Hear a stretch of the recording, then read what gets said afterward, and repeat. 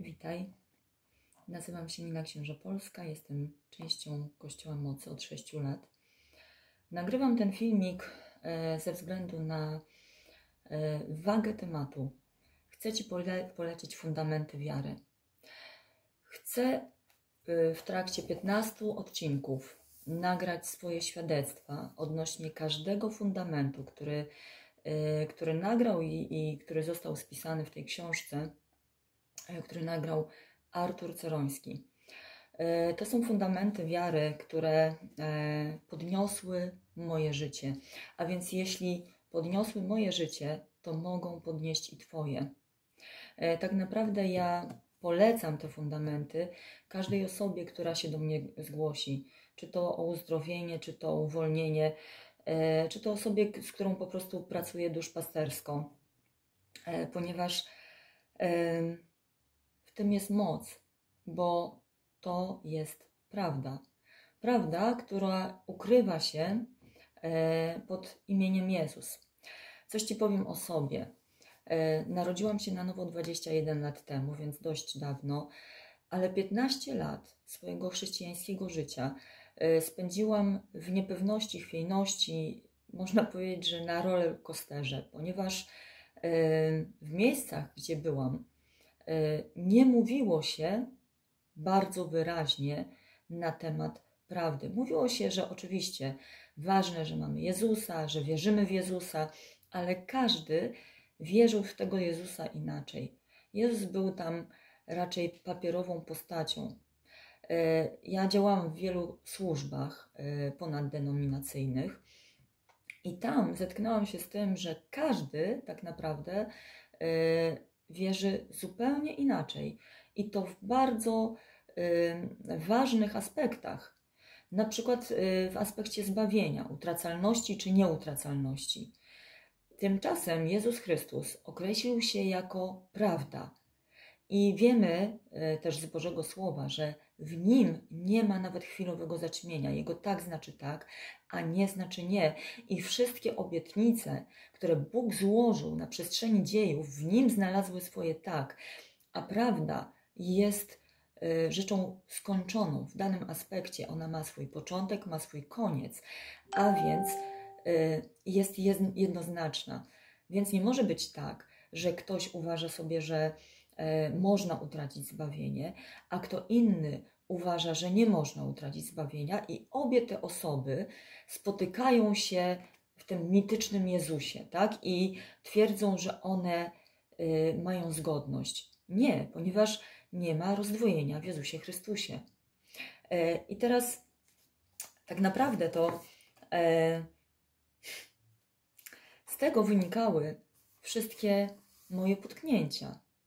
E, to e, ta pierwsza, pierwsza prawda, pierwsza, e, pierwsza, pierwszy fundament wiary, który, mm, który Artur sformułował jako Jezus, jako podwalina fundamentu, to była ta krytyczna, krytyczna część, która była odpowiedzialna, znaczy brak prawdy w tym temacie był odpowiedzialny za, za moje rozchwianie od początku, od kiedy się tylko narodziłam na nowo. Tutaj na wstępie e, mamy taki werset z Efezjan, e, drugi rozdział, dziewiętnasty werset. A więc nie jesteście już obcymi i przychodniami, ale jesteście współobywatelami świętych i domownikami Boga, zbudowani na fundamencie apostołów i proroków, gdzie kamieniem węgielnym jest sam Chrystus Jezus. Jezus Chrystus jest kamieniem węgielnym, a więc On jest wyznacznikiem tego, gdzie i jak położony jest fundament. A tym fundamentem, tutaj czytamy, jest nauka apostolska i prorocza perspektywa. I z tą apostolską nauką i proroczą perspektywą się spotkałam 6 lat temu, kiedy e, po raz pierwszy usłyszałam nauczania Artura Celońskiego. Wtedy e, zaczęłam e, słuchać jego szkoły wiary, ale zaraz potem e, dotarłam do fundamentów wiary i te fundamenty diametralnie e, zmieniły w ogóle moje funkcjonowanie w Królestwie Bożym, moje funkcjonowanie jako osoby, jako e, chrześcijanki. podniosły moją, mój poziom wolności, mój poziom pewności, usunęły lęki, podniosły mnie do rangi tego, kim właściwie jestem w Chrystusie Jezusie. Zmieniła się moja efektywność działania w Królestwie Bożym. Jestem dzisiaj osobą odważną, pewną. Prawda rzeczywiście jest, ma dla mnie ten jednoznaczny wymiar. Jednoznaczny. Nie jest dla mnie e, czymś chwiejnym, czymś a może tak, a może inaczej, może Bóg chce, a może nie chce. Dzisiaj ja mam pewność. Mam pewność. Jeśli e, mam jakąś dziedzinę, mm, to w niej mam pewność ponieważ znam prawdę, znam fundament, e, fundament prawdy. I e, chcę Ci coś powiedzieć na temat moich początków, bo nie, przez, nie bez przyczyny ten, ten akurat rozdział jest pierwszy, ponieważ wszystko zaczyna się od narodzenia na nowo. Tak? Wszystko zaczyna się od przyjęcia Jezusa Chrystusa jako Pana i Zbawiciela. I ja to zrobiłam te 21 lat temu. I w momencie, kiedy, e, kiedy podejmowałam tą decyzję, e, towarzyszyła e, mi pewna, pewna atmosfera. To się stało w wyniku snu, który miałam. I w tym śnie ja zdradziłam Boga. Wyglądało to w ten sposób, że stałam w tłumie. W tym tłumie byli ludzie, którzy wyciągali innych przystawiali im broń do głowy, torturowali ich, y, mówili, y, że jeśli się przyznają do Jezusa, to zginą w męczarniach i tak też się działo. I w momencie, kiedy miało dojść już do mnie, ja sobie pomyślałam, okay, ja ocalę swoje życie, powiem im, że nie znam Jezusa, e, a tak wewnętrznie będę Go znała. I w tym momencie się obudziłam bardzo wystraszona. E, było ciemno w pokoju, ja byłam w ogóle w pomieszczeniu, którego nie znałam, ponieważ e, byłam wtedy na wakacjach. Wiedziałam, że w tym pokoju jest jakaś obecność. E, ktoś, kto jest mi skrajnie nieprzychylny, ktoś, kto poniża moje życie, ktoś, kto mi mówi: Wszystko już stracone, nic już nie możesz zrobić. I mm, ja na te wakacje zabrałam przez tak zwany przypadek Biblię E, mój mąż zapalił światło, sięgnęłam po tą Biblię i tam na chybił trafił, otwierając ją, zobaczyłam zdanie wypowiedziane przez Jezusa Chrystusa, że do każdego, kto się przyzna do Niego przed ludźmi i On się przyzna przed swoim Ojcem w niebie, a kto by się Go zaparł przed ludźmi i On się Go zaprze przed swoim Ojcem w niebie. I te słowa bardzo nawiązywały do tej sytuacji, którą miałam we śnie. I ja wiedziałam, że to jest odpowiedź Boga, że to jest ten moment, kiedy ja mam podjąć decyzję, że nie jest, że wcale nie jest nic stracone, że tak naprawdę ja y, mogę się uratować przez to, że przyjmę to, co Jezus Chrystus zrobił dla mnie na krzyżu.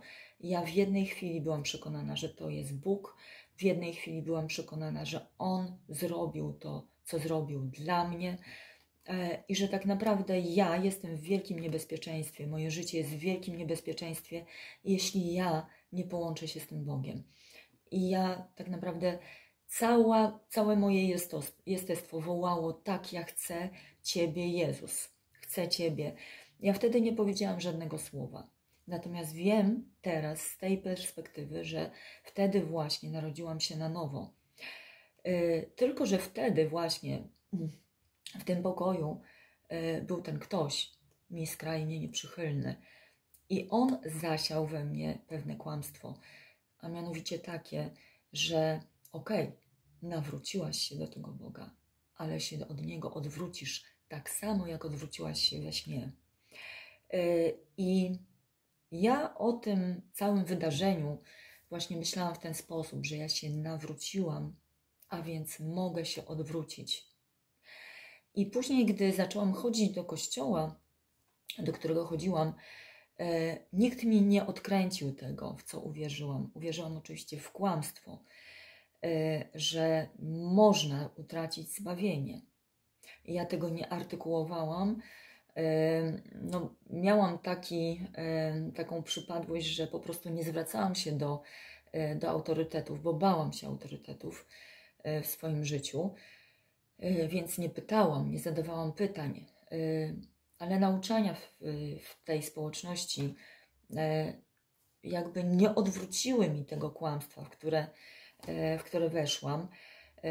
Czytając Boże Słowo też jakby czytałam je przez pryzmat tego, co przyjęłam na początku.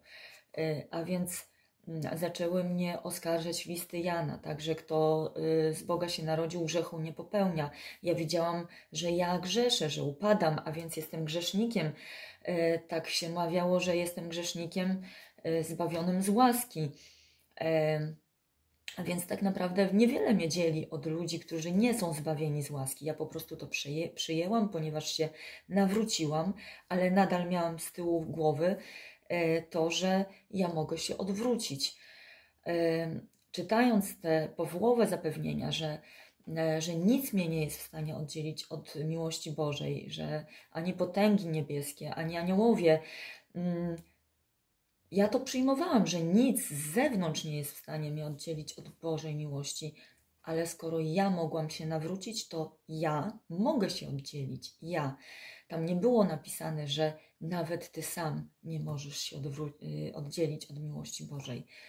Mm, a więc trwałam sobie w tym kłamstwie i to powodowało, że miałam po pierwsze y, niepełne zaufanie do Boga, ale też niepełne zaufanie do siebie. To tak, jakbym e, chodziła po krawędzi i nie ufała, że ja nie spadnę za chwilę, nie skoczę za chwilę z intencją, żeby się zabić.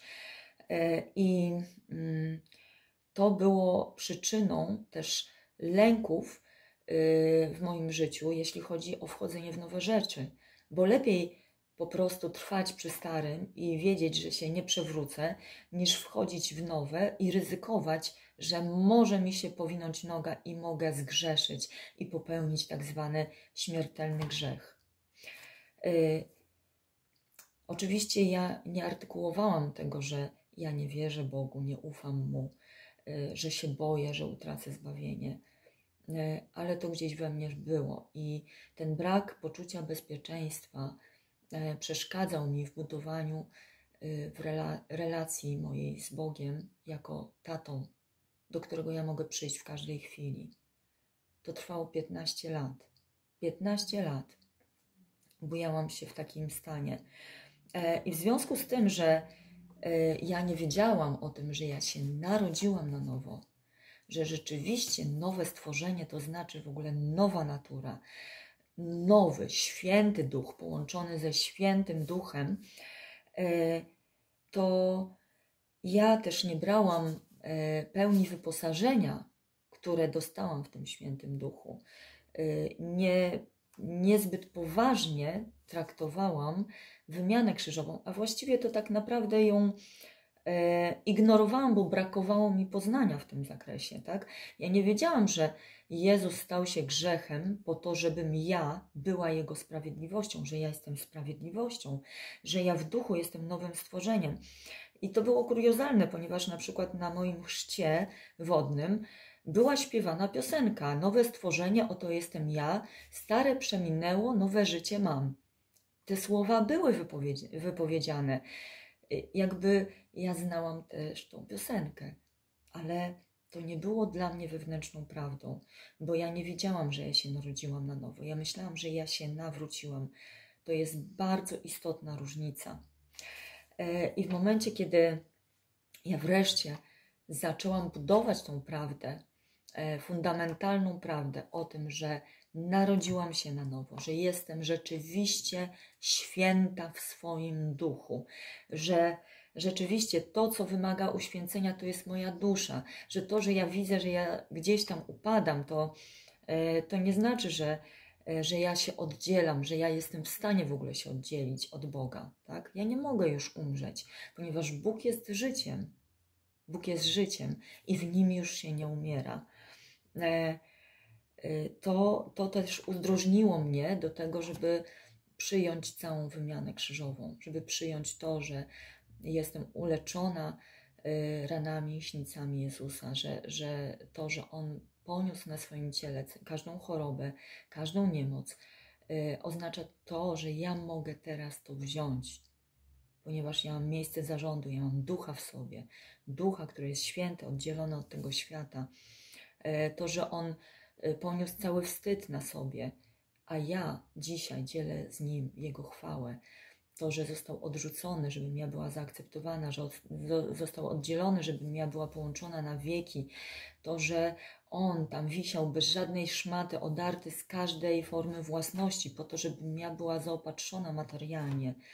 To wszystko zaczęło we mnie się układać w momencie, kiedy ja przyjęłam tą fundamentalną prawdę o tym, że się narodziłam na nowo, nie utracę już zbawienia E, i że wraz z Jego duchem dostałam całe dziedzictwo wynikające z tego, co się stało na krzyżu, z tej całej wymiany krzyżowej. E, w związku z tym, tą jedną prawdą, jednym pierwszym podstawowym fundamentem, że Jezus Chrystus, osoba, czyli Jego poglądy, Jego zachowania, to, co On zrobił na krzyżu, jego zmartwychwstanie, moc zmartwychwstania, e, że On jest podwaliną fundamentu, że On jest kamieniem węgielnym, On tak naprawdę kierunkuje moje życie e, w odpowiednim, e, ustawia moje życie w odpowiednim kierunku. W związku z tym, że ja to przyjęłam, moje życie zaczęło nabierać tempa i każdy kolejny fundament